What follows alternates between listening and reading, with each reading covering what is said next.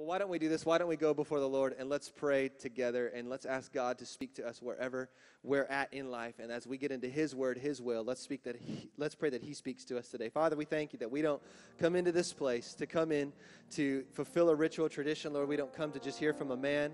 But Lord, we come into this place to hear from you. And Lord, we ask today that it would be your Holy Spirit that speaks to us, Lord, not just the words of somebody who's studied or thought something out. But Lord, I pray that it would be your words, your will, your desire for us today. And Lord, as we come, come before you today, we come with expectant hearts to hear from you, to receive from you your will, your way, your directions for our lives.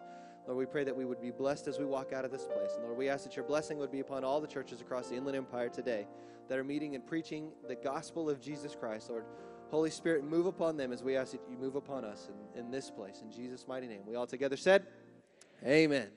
Well, if you've got your Bibles, go with me to the book of Hebrews, chapter number 12 as we look at our continuing study of what we're going through in Hebrews. I'm going to continue what we talked about last week. If you weren't here last week, Pastor Dan brought us to a just a, a, great word of God, super solid as we're getting into the final stages of Hebrews chapter 12. The subject is the mountain of God.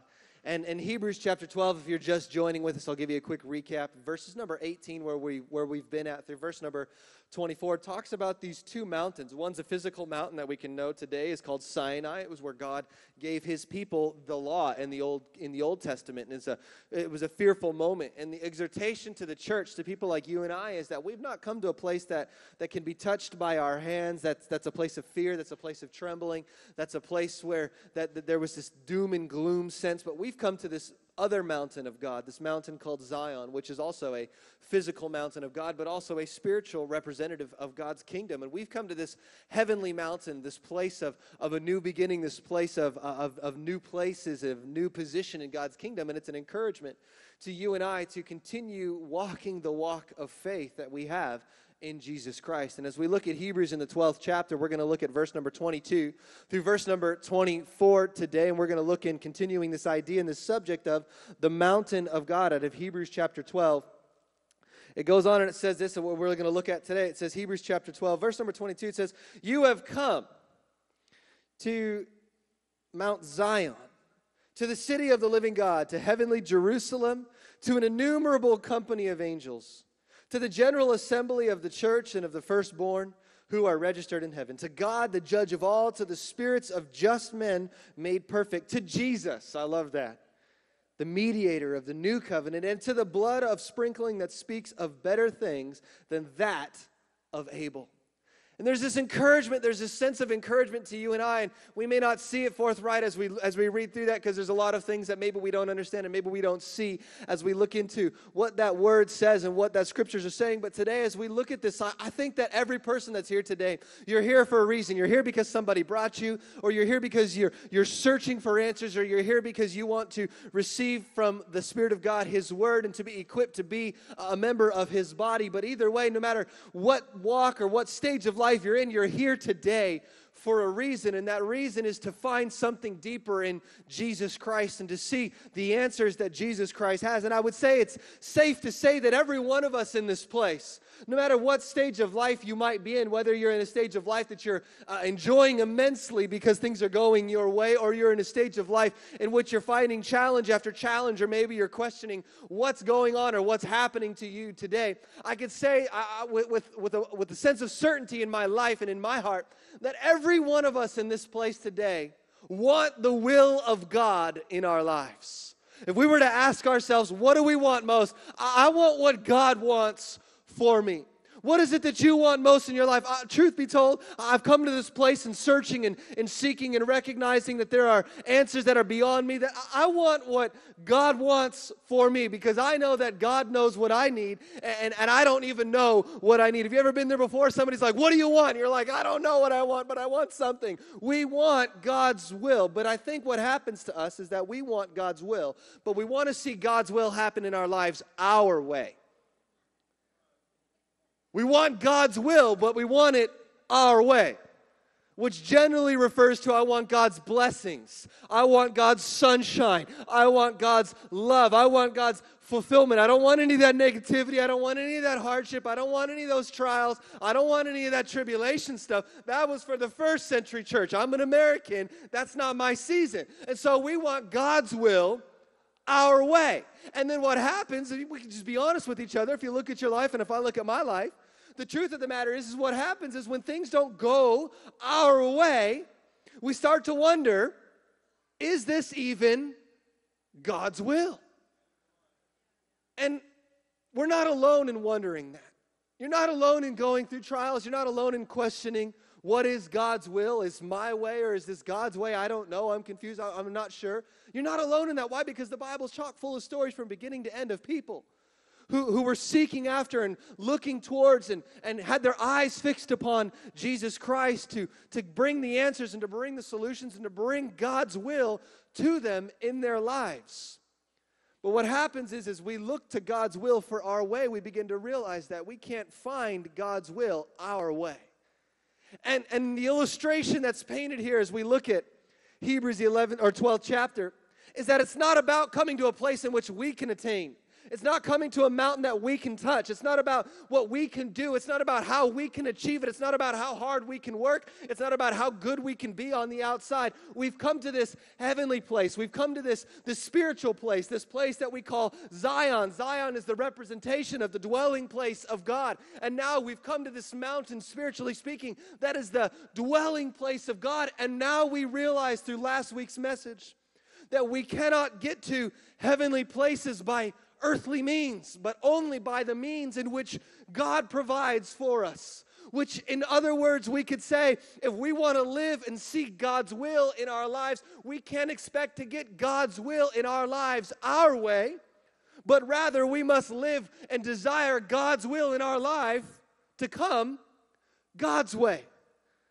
And so here it says that you've not come to this mountain that you can touch. You've not come to this place of, of physical connection, but rather you've come to this spiritual place. And if you want to get to this spiritual place, to this top of, of Mount Zion, in which God desires for each and every one of us to journey to, as we as, as, we ascend this mountain of God, the only way you and I will attain the summit experience of the Mount of Zion is to do so by the means in which God provides, which is God's will. God's way. And so it's an encouragement to the church, to you and I. We don't know who wrote the, the book of Hebrews or the letter of Hebrews, but we do know who it was written to. It was written to a persecuted group of people. Of people who were struggling and, and, and reeling with the idea of do I, do I continue in this journey that I started with Jesus or do I go back to what I knew, which was comfortable in my life? And it's an encouragement to you and I to ascend this great mountain of God, to do so with the means in which God provides. And it's encouragement to say, don't give up to don't stop, to, to, to, to, don't quit despite what you see today. Why? Because what we can see through this, uh, this letter to this persecuted people is that the reality in which we face today is not the eternity in which we live in Christ. And so we might see something today, and the reality in which we live, whether it be good or whether it be hard, is real. Your reality today in your life is as real as it'll ever be. Why? Because you're living it. But the encouragement is that the reality in which you are living in today is not the, the eternity in which you will live with Christ. Why? Because God's taking us to this place this spiritual journey that we're on to this mountaintop experience with His presence on this place of Zion. And last week, as we learned about this mountain of God, we learned that we are we have come to a, a heavenly place. That this isn't just a, a place on earth. This isn't just a, a, moment here on earth and, and how we live on earth. So much is, is so important. Jesus didn't just come that we would have life eternally, but rather He came that we would have life uh, abundantly here on earth. But we can understand that we have been called and we have been brought to a heavenly place. Paul the Apostle tells the church in Ephesians that we have been blessed with all spiritual blessings in heavenly places. Sometimes I don't feel like I've been blessed with every spiritual blessing in earthly places.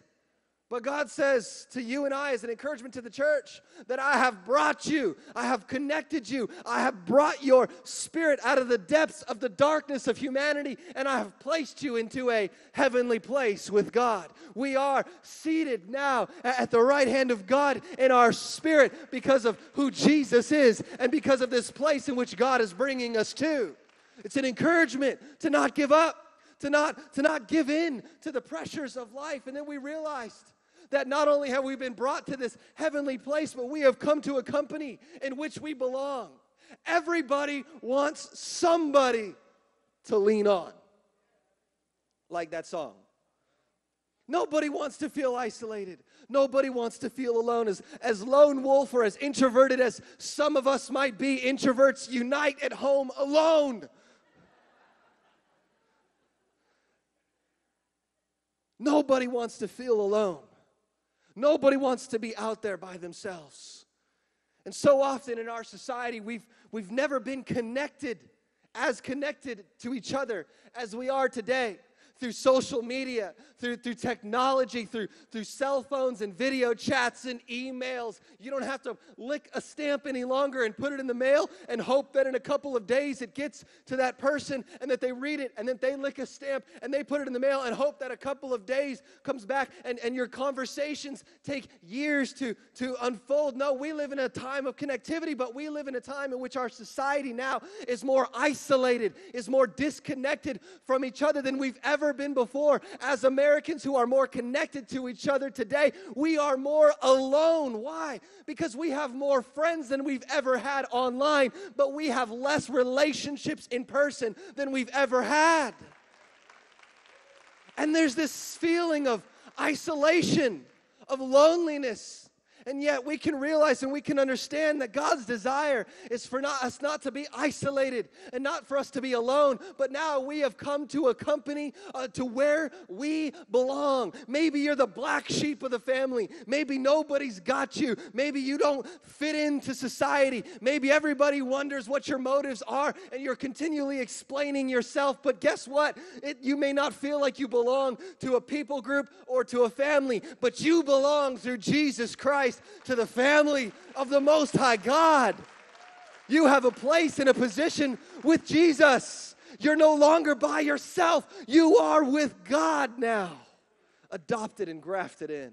It's an encouragement. Don't give up. Don't stop. Don't let in. Keep going one step at a time. And you and I, we have come to God, the judge of all. It's so hard. Sometimes it's so hard to understand why do bad things happen to good people? And why do good things happen to bad people?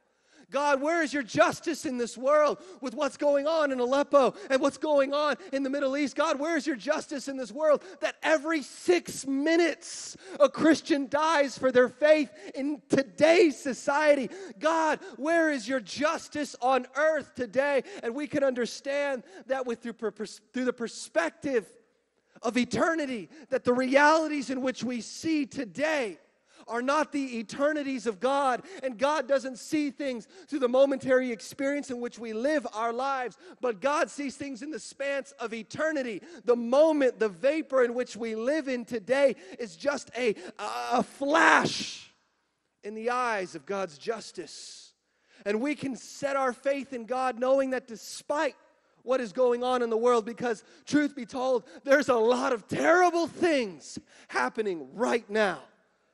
But despite what's going on in the world, we can rest assured that our God is just and our God is a just God and there is justice uh, in the eyes of God. Just a couple of weeks ago, standing on, on the shores of, uh, of Israel, talking to a people whose parents and grandparents were murdered in gas chambers by the millions asking the same question God, where is your justice? But yet now today, their grandchildren stand on the land of a nation that they can call their own to serve a God that they can call their own. That even though there are atrocities happening in the world, that God's justice is always there alongside the atrocities, and that we have come to God, the judge of all. Praise God. It's an encouragement. Don't give up, don't quit, don't stop, don't let in. And as we look continually, in Hebrews, the 12th chapter, looking at verse number 23, looking at verse number 24, it says, Now that you and I, we have come to the spirits of just men made perfect. We've not come to people who have died. We don't go to see dead people. They're dead. They're gone. They're not here any longer. But rather, we have come to the place, the mountain of God, in which now we can see the testimony of the people who have gone before us, who lived uh, lives just like you, who lived a life just like me. But now, through God, through the presence of God, and through being in the presence of God, now they have been perfected in God's presence. It's a testimony to you and I that we have come to the fullness of life. Because you see, what happens to us is that we look at this word perfection and we think perfection is without flaw, without error, with, with no problems. Perfection does not mean without flaw, without error, without problems. Perfection means more so to be complete, to be lacking nothing, to be full. I think of it like this. My son, many years ago, I bought him this thing called a K'NEX set. You ever heard of K'NEX? They're like Legos, but like long. And I bought him this K'NEX set, and it's, it was so cool. It was a roller coaster. And, and it would just go and go and go and had a little car that rode on tracks and there was like four loops and we would just turn it on and watch it and be like man that's so cool and, and after a while he got tired of it and so we put it back in a box and we put it in a bin and we kept the instruction manual in it because if you don't have that forget it. It's over. It's done. And a couple of years later, he came back and was like, Dad, let's build that roller coaster again. And I'm like, let's do it. So we pull the box out, pull all the K'NEX out, we pull the manual out, we start putting all the pieces back together we get all the pieces together, all the loops are there and the top, and it goes, the roller coaster car goes high up, and then it comes down and it makes like two or three different loops, and it's a little corkscrew spiral, and it comes time to put the motor that guides the chain that brings the roller coaster car to the top of the roller coaster, and the motor is missing.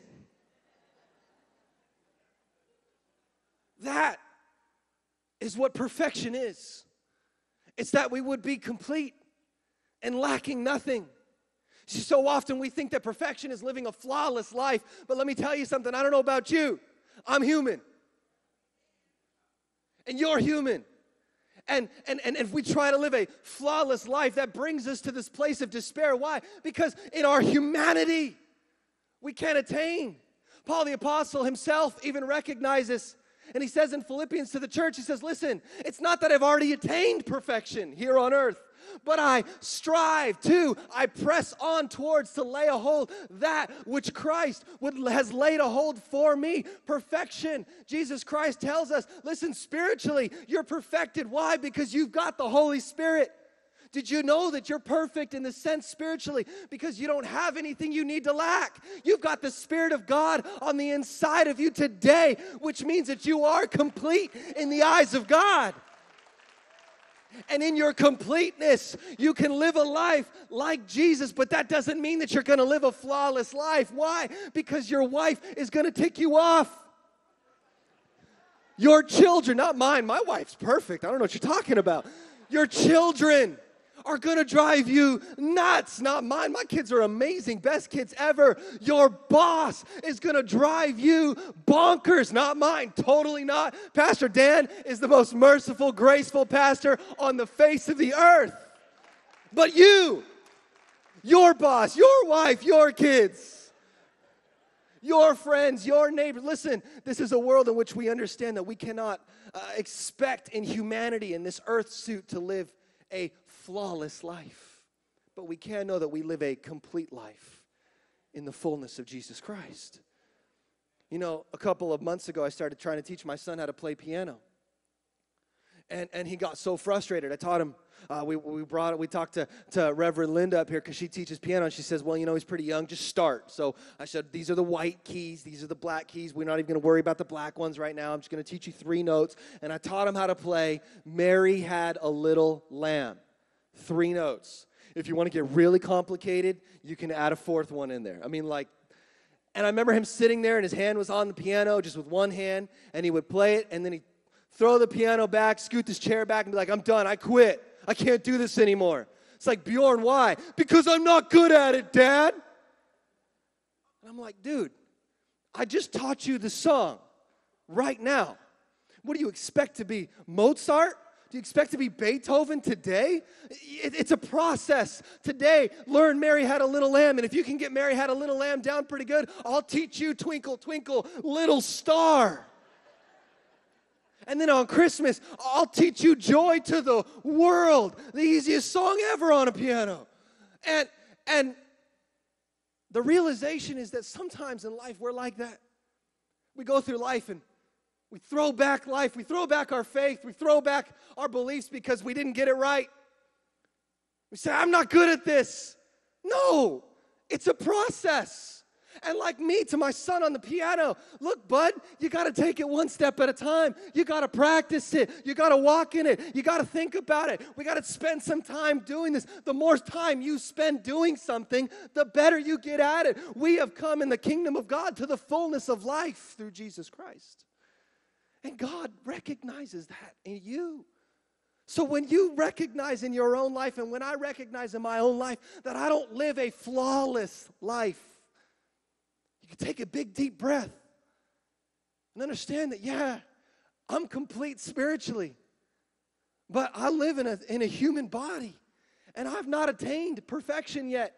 And there will be a day in which I get there and I'll be like the saints in which I have come to spiritually. And I will be a testimony to somebody else to say, hey, look, I wasn't perfect as I lived my life, but I made it today and I'm perfected in the kingdom of God. And you can be too. It's an encouragement to not give up, to not stop, to not press away, but to press into the kingdom of God. It goes on in Hebrews, the 12th chapter, now verse number 24, and it says that we've come to Jesus Christ, the mediator of the new covenant. We've come to a better mediator or the great mediator, Jesus. A mediator, somebody that goes uh, before us, that stands in the gap on our behalf. You can use words like an advocate or a representative. I think of it like this in the 90s growing up, there was this movie that was really popular. It was called My Cousin Vinny. Anybody ever ever heard of my cousin Vinny? It was two young Italian boys from New York in the South got wrongly convicted of murdering somebody because they had the same car as the person who, who murdered somebody. And so they're in the South and they're in the deep South and, they, they, don't know who to do. And one of the boys tells his friends, Well, you know what? I remember that my uncle told me that my cousin Vinny could get anybody out in a bind. And so they call their cousin Vinny from New York and he's it's Joe Pesci, like the, the most cliche Italian guy ever, right? He shows up in his leather jacket and his Italian boots and, and, and his wife, his, his wife, she shows up in her in her in her tight New York dress and they're in the deep South. And cousin Vinny gets a book of law and he forges his documents to be a lawyer and he represents these guys in the court of law as a fake lawyer and he's so terrible at it that they fire him. They're like vinny you know nothing. You're like the worst ever. But through the process of the movie vinny digs deeper and he digs deeper and he digs deeper and he thinks a little bit unconventionally and finally he finds the way to prove their innocence. But you know that's a, a mediator a representative a lawyer so often people look at pastors, they look at popes, they look at priests as their mediators or their advocates. But you got to understand that humanity, men, anybody here on earth is not a mediator or an advocate on your behalf. Why? Even the great apostles recognize, I'm not your advocate, I, am a leader. Paul said, He said, listen, imitate me as I imitate Christ. Follow me. And I'm working at this, and, and I'm, maybe one or two steps ahead of you because God called me, but follow me and let's find Christ together.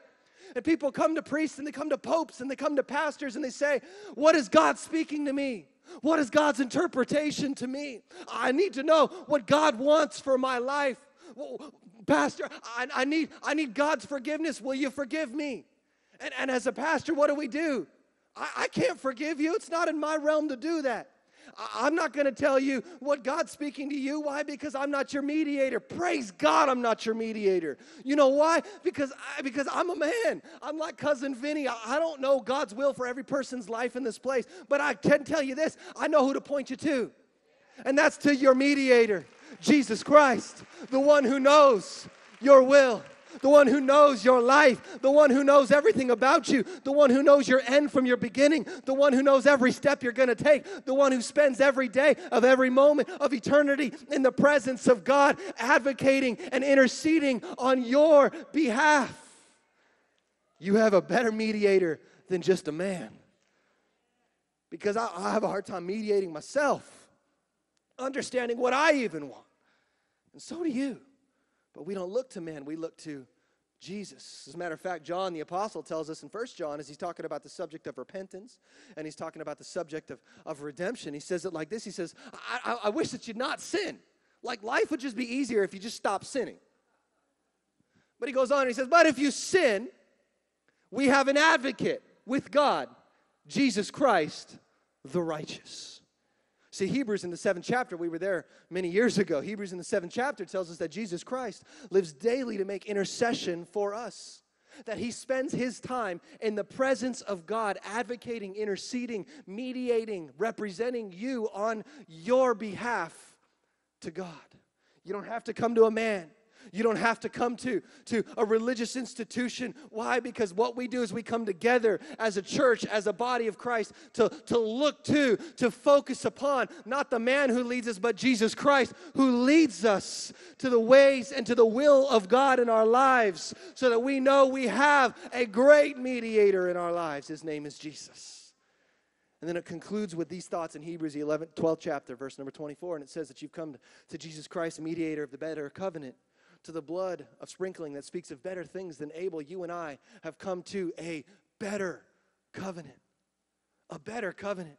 What Hebrews chapter 12 is, particularly towards the end of these verses in Hebrews chapter 12, what it is to us is like a recap that you might see a preacher at the end of their message recapping everything that you might get that last little jot of note down so that when you go home you remember that's what Hebrews chapter 12 is. It's the recap of everything we've talked about. We've talked about the priesthood and how it's a better priesthood. We've talked about the sacrifice, how it's a better sacrifice. We've talked about the, the temple. It's, it's not a, a temple in which men have built now, it's a temple in which God has built. It's a better temple. Eh, we talked about the covenant or the promise between God and us. It's not, it's not an old covenant now, it's a better, a new covenant. And we have come to a better promise, a better covenant, a better agreement, arrangement between God and us through Jesus Christ.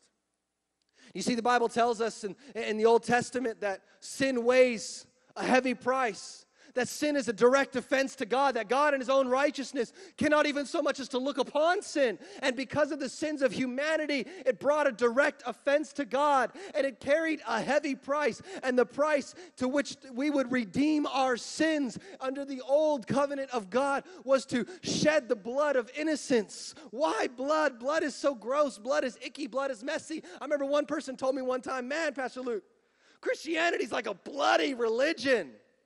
The reason is, is that God tells his people as he's setting up his law that blood is the giver of life. That if your heart stops pumping, you die. Why? Because your blood stops flowing.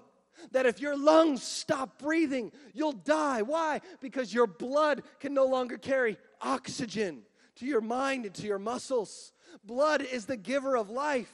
And, and sin weighs such a heavy price to God that the only way that we could justify our offenses to God was to pay the ultimate price in, in sacrifice of the blood of innocence. And now we see that we've come to a better place. Why? Because it's not the blood of goats, it's not the blood of, of sheep, it's not the blood of bulls. We don't do that anymore. Praise God. That's gross. We've come to a better covenant. We've come to a better place through Jesus Christ. Now, the blood that was paid for you and I, for our offenses to God, is not the blood of an animal that has no clue of what happened. But now it's the blood of Jesus Christ that was shed on that cross for you and I on Calvary so that we could be redeemed, so that we could be forgiven, so that we could be uh, uh, brought into, so that we could be adopted, so that we could be grafted in, so that we could have grace in our lives today to know that we live in a better covenant with God a covenant of forgiveness, a covenant of grace, a covenant of love. But the beautiful thing about the cost of sin is that uh, sin, having such a steep price, knowing the deterrent, the price was a deterrent from sin. It was a, it was a, it was a guide. Paul the Apostle said it served as a schoolmaster to him to understand that, listen, before, he said, before ever I knew God's law, I, I didn't know that I shouldn't covet. I didn't know that I shouldn't steal. I didn't know any of these things. It just was natural to me. Why? Because nobody has to teach us how to be human. Nobody had to teach you how to steal the cookie out of the cookie jar, right? Nobody had to teach you how to cheat on that test. Nobody had to teach you how to lie. You said, I never cheated. You're lying. That's just humanity. But then the laws of God came and they showed us that these things in which we naturally have a propensity to come at such a great price that now when we understand the price in which they, we have to pay because of these things that we have a propensity to go to, now we say it's a deterrent that I don't want to do that anymore. I don't want to live that way anymore. Why? Because the blood of Jesus Christ is the price that was paid for you and I. It doesn't give us a license to live however we want. Now we understand that there was a heavy price, the heaviest price God Himself could pay for you and for my freedom, so that when we sing, I'm no longer a slave to sin, we can sing that because God paid the ultimate price through His Son, Jesus Christ. And in the comparison of the blood, it says of, of Abel, in the story of two brothers, if you think you have sibling rivalry, if you think you got an issue with your brother or with your sister, read the story of Cain and Abel because Cain murdered his brother Abel because Abel had a better sacrifice. And so in this story, Cain is jealous of Abel's sacrifice, and God even warns Cain Cain, sin is knocking at your door, and it seeks to rule over you, but it doesn't have to, Cain. Just do what I told you, you'll be okay. But Cain's heart was closed off to the things of God. And in his bitterness and in his jealousy, he murders his brother Abel and he buries him in the ground. And God comes to Cain, and God speaks to Cain from the heavens, and he says to Cain, Cain, Cain, where is your brother Abel? And Cain says to God, what am I, my brother's keeper, as though I know where he is? As though we can hide our offenses to God. And God says to Cain, Your brother Abel's blood cries from the ground to me. You see, the blood of Abel cried from the ground revenge for the sins that were paid, but the blood of Jesus cries from the heavens redemption for the sins that were made. Paul says in Ephesians in the first chapter, he says that this he says that we have redemption through his blood, Jesus, and grace and forgiveness of sins. You see, we can't arrive to these heavenly places based on our own pretense, based on our own ways. God's calling you to a higher place. God's bringing you to somewhere that, that only God can bring you to. But when we want God's will our way, we're going to miss out on God's will, God's way.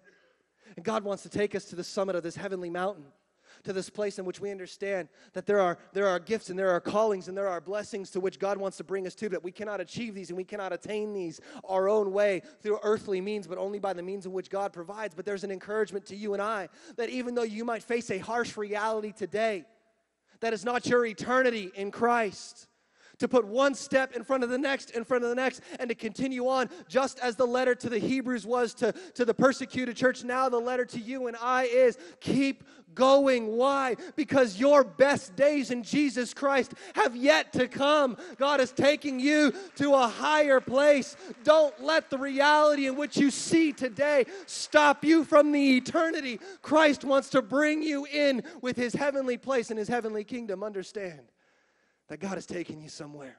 And let's climb this mountain together arm linked in arm as brothers and sisters in Christ might have differences. We might not think the same way. We might not all believe the same exact thing, but we believe that Jesus Christ is the Son of God who was raised from the dead and who makes intercession for us today. And we can link arm in arm as a church, not just the Rock Church, but as the church of Jesus Christ, brothers and sisters. And we can ascend the mountain of Zion of God together to reach and to arrive at the places God wants His church to arrive at in Jesus' name. We can make it. Don't give up. Don't give in. Don't let go. Hold on. Hold on. Keep going. Keep fighting. Keep walking. Keep stepping. Keep climbing. Why? Because God's going to take you to a place you've never been before through His Son, Jesus Christ. Amen. Amen. Let's pray today. Father, we thank you for your word. God, we thank you for your voice that speaks to us encouragement to keep going, to keep moving, to keep pressing on in your kingdom. God, I pray for your encouragement in our lives. I pray for your encouragement in our hearts. And Lord, we come before you today and we ask, God, that you would speak to each and every one of us right where we're at. In Jesus' name. Hey, listen, before we conclude and we finish our services with some announcements and some things like that, I want to just take a quick moment. I want you just to take a look into your life. I don't want you to get up and try to beat the rush. I'm going to let you out early today. I, I, did what I never do. I didn't preach long. Praise Jesus, Pastor Joe. It's a miracle. But I want you to do something. I want you to take a moment to examine yourself. You see, Paul the Apostle, when he was talking to the church at Corinth, he told them, he said, Look, guys, there's a lot of stuff going on in your life that's unnecessary to be going on in your life. He said, You're sick. He said, You're weak spiritually and physically. There are people that are dying among you spiritually and physically. That's unnecessary. He says, If you just take a moment to examine your life, to look into your life, to judge your heart, to judge your life. He says you wouldn't, you wouldn't have to face the judgment that everybody else is facing if you would just take a moment and ask yourself the question so often we're afraid to ask ourselves and be honest with. And that question is Are you where you need to be with God today? You could say and come into church, you know what, I want to live God's will. I want God's will in my life, but I don't want God's will God's way because that's kind of hard. I want God's will my way. But let me ask you this question Would you take a moment and be honest with yourself? Would you be introspective and look into your heart, look into your life, look into your intents, and look into your actions and ask yourself this question Am I where I need to be with God through His Son, Jesus Christ? You see, so often we think that as long as we attend church on a somewhat regular basis, as long as we do good things, as long as, long as we have good thoughts, as long as we have good hopes to, to be right with God, as, as, long as, as long as we have a sense of spirituality to understand that there is a God somewhere out there and that we'll all find a path and a position in His kingdom somewhere, some way, that, that everything's going to work out between us and God. But the reality is, is that as we ask ourselves these hard questions, am I where I need to be with God today? And when we look at God's word, God's will, and we look at God's way, it's, it's starkly clear that it's not about how we act on the outside. It's not about our church attendance. It's not about how good we are. It's not about our thoughts and how good we can think we are. It's not about helping our fellow human being. It's, it's not about a religious service. It's not about a tradition. It's not about what somebody's done to or for us. See, Jesus Christ says these words. He says that He Himself is the way, the truth, and the life, and no one goes to the Father except through Him.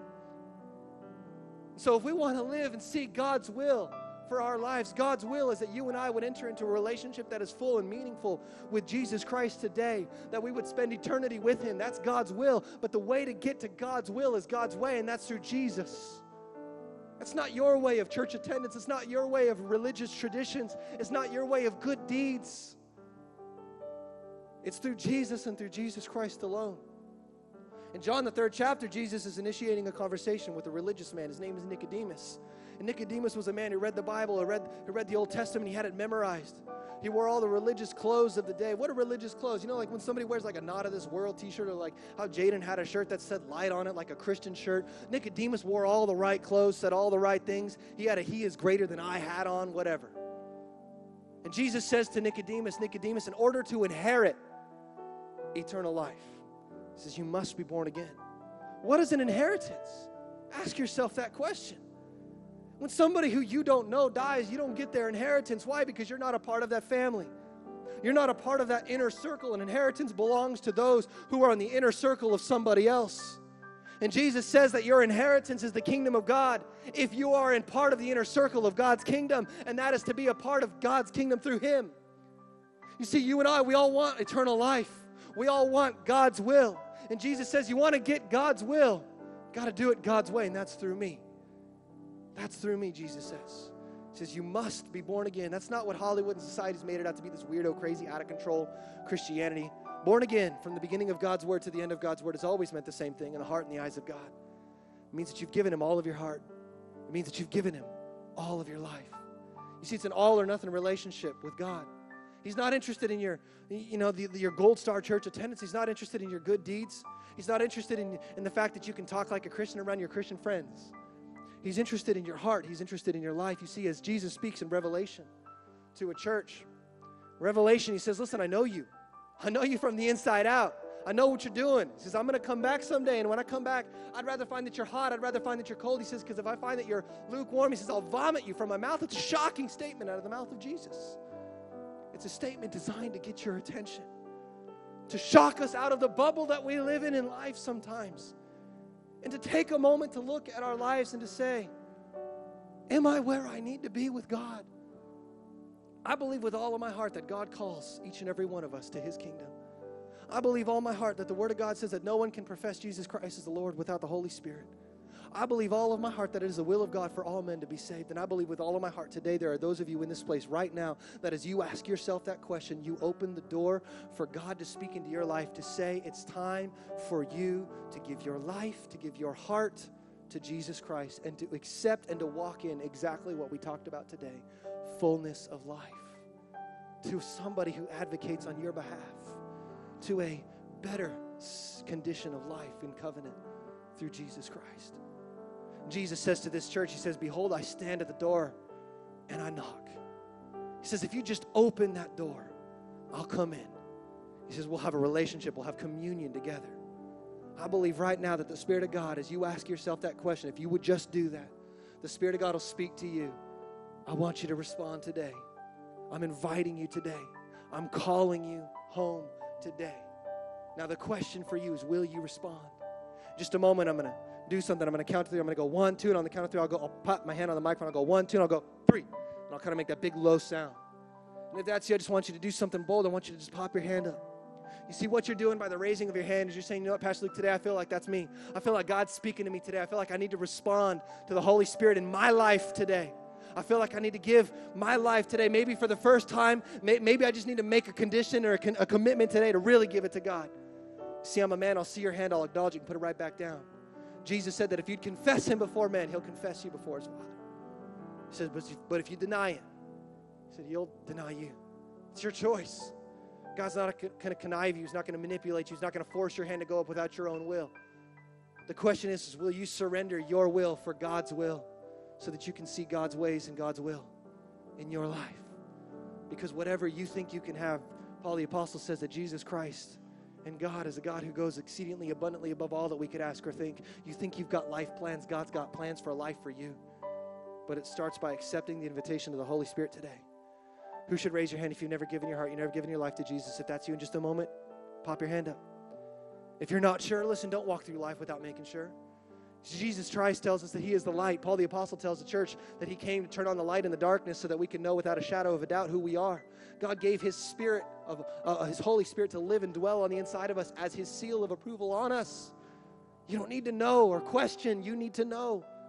If you've been living lukewarm, like Jesus says, a little bit up, a little bit out, a little bit down, a little bit in, a little bit out, occasional church attendance, doing some of your own thing, doing some of God's thing. Listen, if that's you today, today is a day that you can commit and decide to follow Jesus, to step into life as God has called for you today. And it starts by making a decision to respond. Simply put, right after that, what I'm going to do is we're all going to pray a prayer together. What you're doing by raising your hand is just saying, I want to be included in that prayer of salvation together. I'm going to ask you to come and I want to shake your hand and look you in the eyes and I want to pray with you today, right now, the day of your salvation. But it starts by making a decision today. Will you receive the invitation of the Holy Spirit in your life?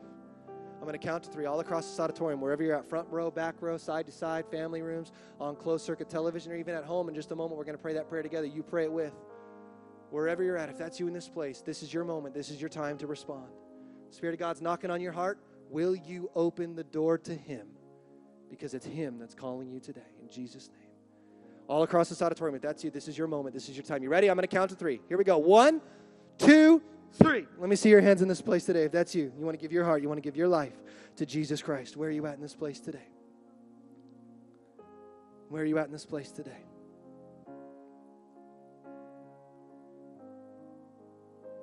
I don't see any hands.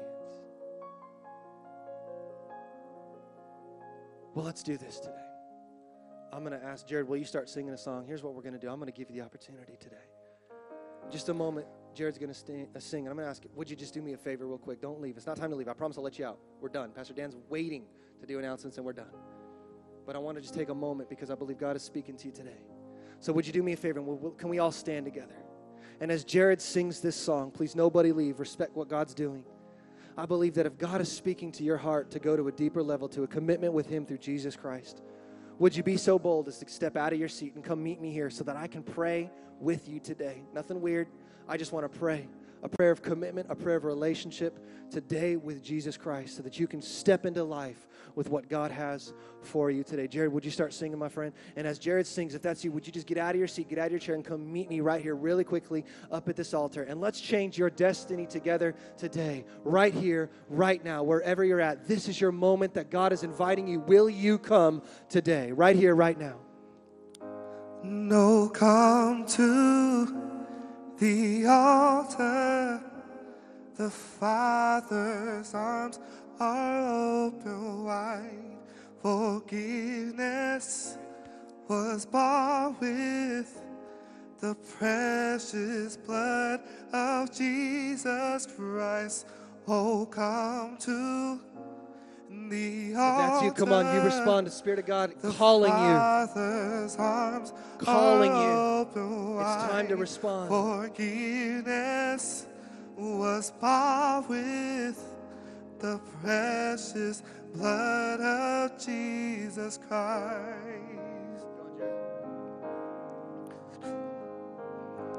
No, come to the altar. The Father's arms are open wide. Forgiveness was bought with the precious blood of Jesus Christ. Oh, come to the altar. The Father's arms If that's you, Spirit of God's calling you. You can feel it in your heart. Would you respond to Him? was bought with the precious blood of Jesus Christ. Oh, come to the altar. The Father's arms are open wide.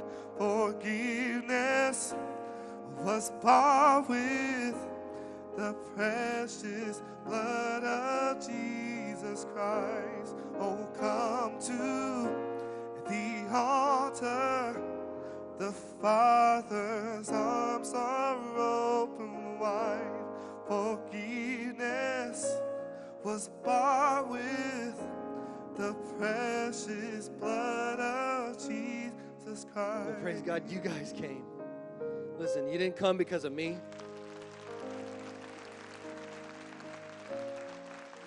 You came because God invited you. I mean, just think about it for a moment. Let's just let's just go let's just go there for a moment, okay? The creator of the universe. That when the next time the stars are out, we can only see a few of them, right? But there's a few of them out there. The next time the stars are out and you see them, remember this moment that the one who put those stars in place called you today, invited you today to know him intimately and deeply. He's not afar off in some other place. He wants a relationship with you, and today you decided to commit and to enter into that today. So let's pray a prayer together. Would you just join with me? Believe that, that God listens not to the words of our mouth, but to the prayers of our heart. So we're going to pray a prayer. Maybe it's a prayer of rededication for you, maybe it's a prayer of commitment, but let's pray together as we go before God. When you can all join in wherever you're at, at home, online, you can join in. Let's all pray this, these words together. Repeat these after me. Father God, thank you that you've called me to life in Jesus' name. Today, I re- receive, I accept the invitation of your Holy Spirit in my life. Lord, I ask that you would forgive me of my past, of what I've done, the things I know, the things I don't even know about. I give my past to you. I dedicate my life to you. And I give my future to Jesus. Today, I commit to follow Jesus for the days of my life. Fill me today with the comfort of your Holy Spirit. Speak to me in my heart, your will, your way, in Jesus' name. Amen. Praise God. Praise God. Really quickly, just by means of follow up and just by means of prayer, want to connect you with somebody really quickly. See this guy right over here waving at you? I think he's one of the coolest guys I know. I really do. I tell you that with all of my heart. His name is Joel. He wants to take you guys right over there. He's going to do something. He's going to pray. If you need prayer, he's going to introduce you to somebody here at the church that'll just sit down with you, pray with you, introduce a program that we have to help get you strong in the ways of God. If you want to start a commitment, maybe you've done it, maybe you haven't, but just to start that new commitment that you're making today with Jesus Christ. So if you just turn to your left, my right, go right over there with Pastor Joel. I promise nothing weird goes on, but life in Jesus. Pastor Dan.